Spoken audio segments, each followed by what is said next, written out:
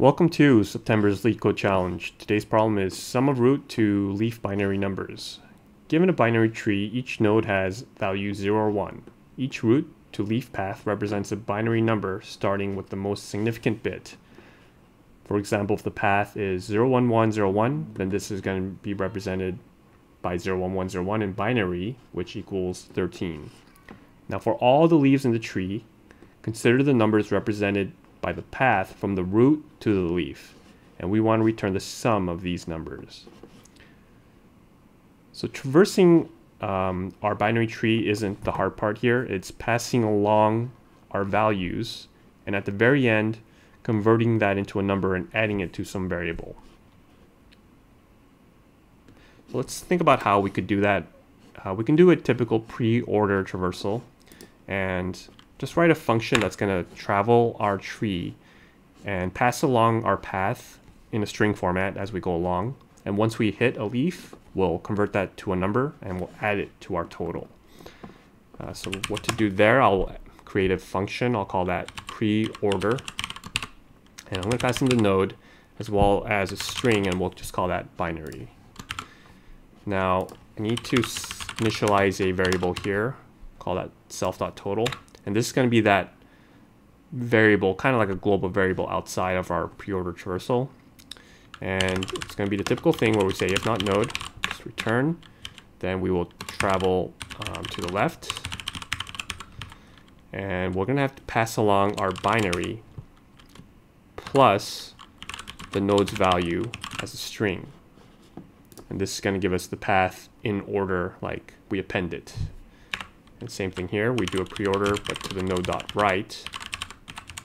The same value, we pass it along the binary, to node that value.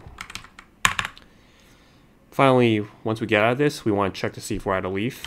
So if not node dot left and not node dot right, this means we're at a leaf, right? So then all we need to do is take whatever binary path that we've traversed on and convert that to an integer what you'll do is uh, you can use the integer function and pass along 2, which makes it a binary, and just add that to our self total. Once we finish that, we should just be able to return our self total. So what I'll do is run our pre-order on the root, pass in a blank string, and then return the self.total. So that's it. Um, it's pretty straightforward. Make sure that works. And that's it. So we're just traversing our tree, pre-order traversal, and um, adding our total binary number to this self variable at the very end. Now, you could avoid doing this. Sometimes it's considered cheating to initialize like a variable outside. So to do that, we'd have to make it like a more of a recursive thing. Um, so what you could do then is still do the same format, but once we add a leaf, we were going to return this value. Uh, otherwise, we're going to return whatever is the sum of these two.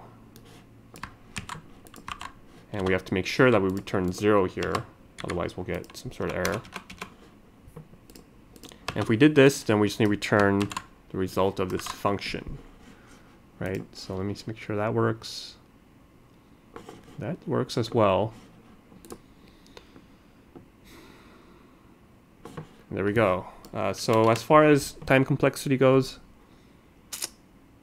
believe it's O of n uh, with what O of h space complexity, which is the height of the tree. Um, there's various ways you could do this. You could also use a queue uh, but the logic of it would pretty much be the same. And and yeah, there's probably other approaches, but it's always going to be some variation of this where we um, have to tr travel the entire tree and store the sum of the um, root to leaf paths. Alright, so that's it. Thanks for watching my channel. And remember, do not trust me. I know nothing.